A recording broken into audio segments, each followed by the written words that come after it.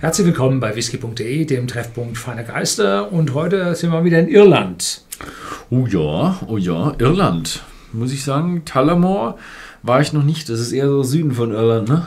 Mittendrin. Mittendrin. ja, ich, war, ich war bis jetzt nur in Dublin und ich glaube, ich war mit dir auch schon bei diesen ganzen Brennereien. Aber das war so in der schon Zeit, her, wo ja. ich noch nicht so versiert war bei Whisky und mich noch nicht so interessiert Aber hab. ich kann dir zustimmen, so ganz falsch war es mit dem Süden nicht, weil der Tullamore Dew wurde die letzten Jahrzehnte im Süden äh, in Lizenz gebrannt. Und die alte Tullamore Brennerei, zentral in der Republik Irland gelegen, am Kanal, wo früher dann auch der Whisky verschifft wurde, die wurde umgebaut zu dem Tullamore Erlebniscenter mit Museum und so weiter, wo es also auch um den Herrn Daniel E. Williams, dieser Dew, das hat nichts mit Tautropfen zu tun, sondern es sind seine drei Initialen, mhm. ähm, wo der dort verehrt wird und, und gezeigt wird. Und vor ja, sechs Jahren, vielleicht 2014, wurde dann die neue Brennerei äh, in derselben Gemeinde Tullamore eröffnet, auch mhm. in der Mitte Irlands. Und dort produziert man nun hurtig nach dem Rezept, wie man ihn früher sich hat in Lizenz brennen lassen, äh, selber diesen Whisky. Das heißt, das ist keine Brennerei, die am Meer liegt, sondern an einem Kanal. Mhm. Früher ein Kanal, heute an der Autostraße. einem Autokanal. Einem Autokanal.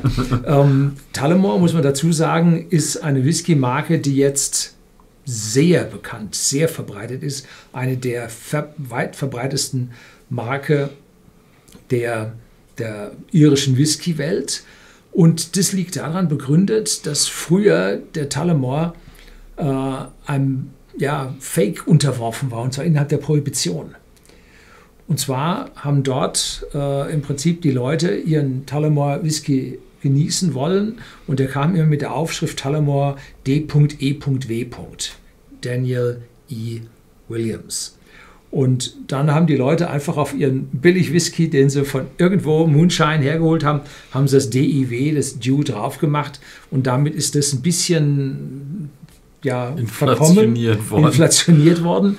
Äh, haben sich aber mittlerweile wieder bekrabbelt und ist eine der größten irischen Whisky-Marken der Welt. Die Flasche selber, 40 Volumenprozent, hier ein Liter für nur 17,90 Euro. Da zeigt es, wo die Brennblase ihren Sprit ablässt. Mhm. Also das ist ein Massenprodukt, müssen wir ganz deutlich sagen. Allerdings äh, wohl hervorragend auch geeignet zum Irish Coffee, mhm. weil er wohl äh, intensivere Aromen hat, um gegen den Kaffee dann an der Stelle auch bestehen zu können. Was ich interessant finde, ist, man sieht es ja an der Seite schon, drei Brennblasen. Ja. Dreifach destilliert. Genau, das heißt, man hat hochdestilliert und damit ist dieser Whisky von seinen Fuselölen auch befreit. Und damit gehört er zu den, ja, sagen wir mal so, den nicht den Kopfweh machen. Mhm. Ne? Ist das einer der preiswertesten dreifach destillierten? Ja, wir machen ja immer bei jeder Flasche nicht Konkurrenz für die Konkurrenz, mhm. aber ich, sondern ich aber er gehört nur, zu den billigsten. Ja. ja. Äh, ich kenne jetzt nur Premium, teurere mhm. ähm, aus ja, verschiedenen Ländern mit Dreifachdestillation. So äh, einen, den man unter 20 findet, 5 Liter. 5 Liter, äh, genau. Habe ich Dreifachdestillation, glaube ich, noch nicht gesehen. Wir haben normalerweise haben wir nicht so äh, die Billigflaschen bei uns im Sortiment. Äh, aber hier, wo dann der, der Vorteil so gewaltig ist, weil es noch eine Literflasche ist, da haben wir ihn dann doch mit reingenommen. Mhm. Ja, ähm, was wollte ich sagen? Die Brennerei Talamore hat wieder aufgemacht. Allerdings ein voller Industriebetrieb, wir Aha. sind nicht reingekommen. Okay. Also da musste ah, von Wann hat sie aufgemacht? Ich glaube 2014. 2014, das, das heißt, wir sind jetzt 2020. 20? Das heißt, sechs Jahre, äh, sechs Jahre der wird es ziemlich sicher schon neu sein. Ja, der, absolut. Aber solche Geschichten wie der Talamodew 18, die werden ziemlich sicher noch aus dem alten Bestand ja. sein. Da sieht man hier Schraubkappe. Da reicht es vom Geld her, den Verkaufspreis nicht für einen Korken. Kann nicht reichen. Kann nicht reichen. Ja, ja das finde ich aber auch gut, dass ihr mehr, mehr in den Inhalt investiert haben als an die Kappe. ja. So, dann schauen wir mal. Mhm. Sanft.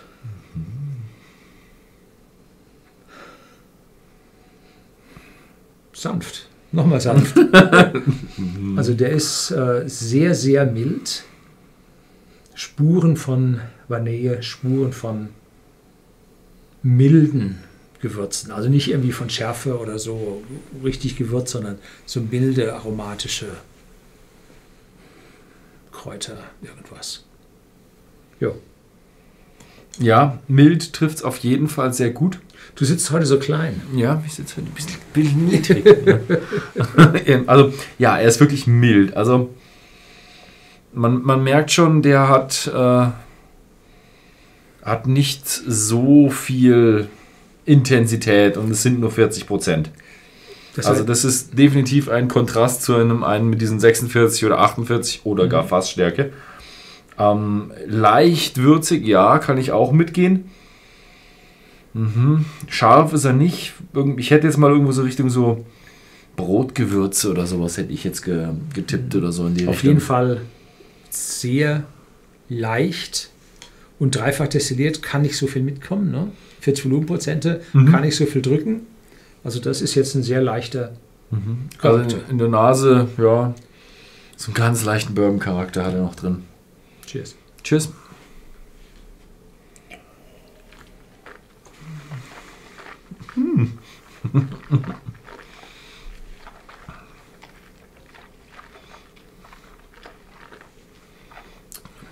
Der räubert ganz schön, ne? Mhm. Und zwar Eiche. Richtig fette, dicke Eiche. Und dazu eine sehr angenehme Orange. Also eine Orange. Und dann wieder Eiche. Dann geht es rüber zu, zur zarten Bitterkeit. Das ist ja im Prinzip bei diesen Blended Whiskys immer gewollt, dass die so dermaßen mit der Eiche dann zuschlagen, weil die ja häufig zum Mixen verwendet werden. Ne? Mhm. Und dieses starke, starke Eichenaroma dürfte sich dann durch den Kaffee beim Irish Coffee dann durchsetzen. Mhm. Mhm. Was ich aber komisch finde, ist, bei dieser Eiche, es ist nicht so eine milde Eiche und auch nicht so eine vordergründige Eiche, sondern wie du schon gesagt hast, so, ach nee, du hast nicht Kaffee gesagt, du hast irgendwo, was hattest du gesagt? Ich weiß nicht mal, ich finde, es hat irgendwo so eine, so eine Bütternote. Ja. Also, diese Eichennote äußert sich sehr in, in Schwere.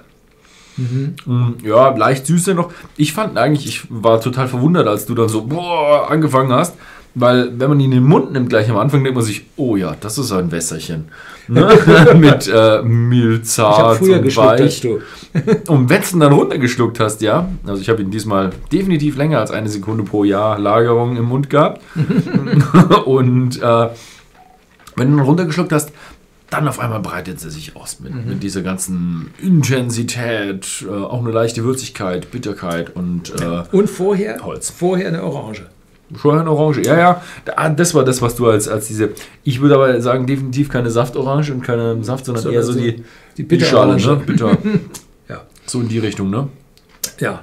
Also definitiv ein Whisky, definitiv ein Ire, mhm. dreifach destilliert, merkt man auch mhm. und zum Mixen sicherlich hervorragend geeignet. Mhm. Du machst jetzt ja Cocktails. Gibt es da einen Whisky-Cocktail, äh, für den man irischen Whisky braucht? Ja, gibt es ein paar. Aber ich muss jetzt auch nicht unbedingt für die Konkurrenz Dingsen, äh, Werbung machen. Ähm, ich finde, ja, zum Mixen wäre er ganz gut geeignet, weil er wirklich eine, eine Zutat ist, die schwer ist und nicht so viele eckige Kanten hat, wie zum Beispiel ein Wodka fände ich ihn um einiges besser. Und äh, also mit einem richtigen Single Malt kann er nicht mithalten. Dafür ist er, hat er ja, zu wenig Facetten, würde ich mal sagen. Er ist, Komplexität ist was anderes, ne? Aber er ist, er ist lecker. Also man kann ihn trinken, wie du gesagt hast, ist ein Whisky. Kann man den Namen schon draufschreiben. Aber halt einer vom preislichen Einsteiger. Ja, genau. Sortiment, würde ich mal sagen. Ja, gut. Gibt es bei whisky.de auch im Shop zu kaufen. Ähm, schaut einfach mal vorbei. Äh, kann man einfach hin und wieder mal so eine mitnehmen.